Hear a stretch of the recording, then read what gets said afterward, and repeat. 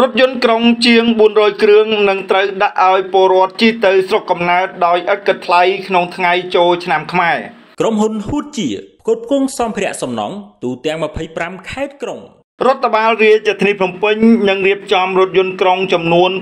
455គ្រឿងសម្រាប់ដឹកជញ្ជូនប្រជាពលរដ្ឋធ្វើដំណើរទៅមកស្រុកកំណើតដោយឥតគិតថ្លៃកិច្ចខិតខំប្រឹងប្រែងនេះត្រូវបានរាជរដ្ឋាភិបាលអះអាងថាធ្វើឡើងដើម្បីសម្រួលដល់ការចំណាយរបស់ប្រជាពលរដ្ឋដែលធ្វើដំណើរទៅលេងស្រុកកំណើតជួបជុំក្រុមគូសាក្នុងពិធីចូលឆ្នាំថ្មីប្រពៃណីជាតិខ្មែរនេះបើតាមសេចក្តីជូនដំណឹងរបស់រដ្ឋបាលរាជធានីភ្នំពេញនៅយប់ថ្ងៃទី2ខែមេសាឆ្នាំ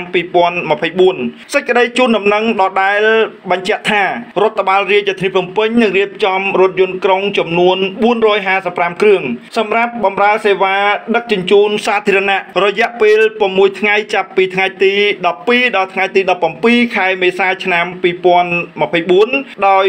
មិនបង់ប្រាក់ដើម្បីជួយសម្រួលដល់ការចំណាយជូនបងប្អូនប្រជាពលរដ្ឋក្នុងការធ្វើដំណើរទៅលេងស្រុកកំណើតជួបជុំបងប្អូនក្រុមគូសាក្នុងពិធីបុណ្យចូលឆ្នាំថ្មីប្រពៃណីជាតិខ្មែរស្ថាប័នដដែលបន្ថែមថាសម្រាប់សេវាដឹកជញ្ជូនប្រជាពលរដ្ឋនៅក្នុងរាជធានីភ្នំពេញនឹងប្រើប្រាស់រថយន្តក្រុងចំនួន60គ្រឿងដោយឡែកសម្រាប់សេវាដឹកជញ្ជូនប្រជាពលរដ្ឋដែលនឹងធ្វើដំណើរពីរាជធានីភ្នំពេញទៅតាមបណ្ដាខេត្តនិងពីបណ្ដាខេត្តត្រឡប់មករាជធានីភ្នំពេញវិញនឹងប្រើប្រាស់រថយន្តក្រុងចំនួន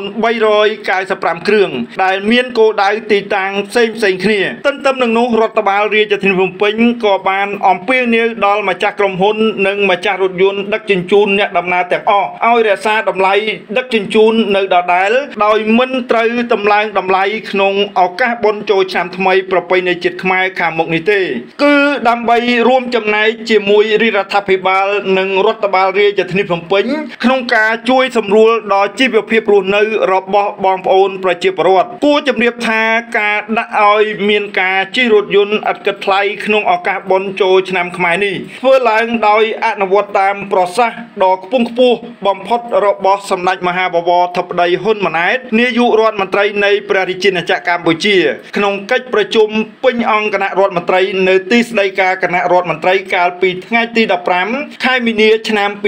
2024កន្លងទៅ ក្រុមហ៊ុនហ៊ូតជាផ្គត់ផ្គង់សម្ភារៈសំណង់ទូទាំង25ខេត្តក្រុង